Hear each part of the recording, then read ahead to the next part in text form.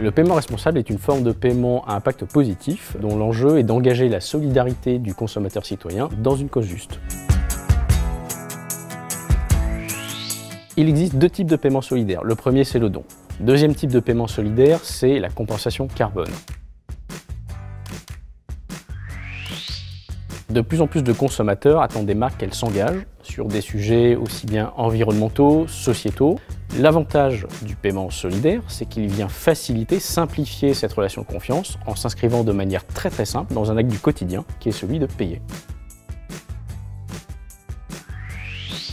Le montant moyen d'un paiement solidaire en France est de 25 centimes. Pour un tel montant, il n'est pas question de complexifier ni euh, le parcours d'achat, ni le parcours de paiement. Donc l'idée, c'est bien de garder une fluidité en point de vente et une fluidité au moment de payer. Dans ces cas-là, notamment pour les petits paniers moyens inférieurs à 30 euros, ce qu'on préconise, c'est d'aller sur de l'arrondi solidaire à l'euro supérieur. Et de fait, le consommateur n'a pas besoin de saisir de montant.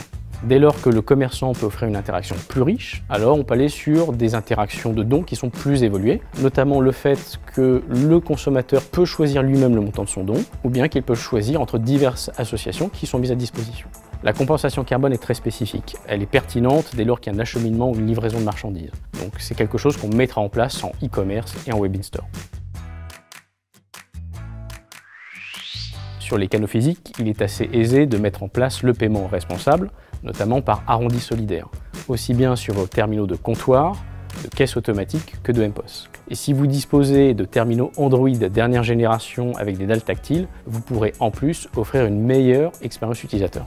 Pour les canaux digitaux, il est bien évident qu'on va éviter les mécaniques très lourdes de redirection. Euh, l'enjeu va être de conserver une très bonne UX, avec notamment le moins de saisies possible, des cases à cocher à bon escient et au bon endroit. Il ne faut pas oublier les éléments de réassurance, donc bien rappeler que le don va intégralement à l'association et que les données cartes ne sont pas stockées.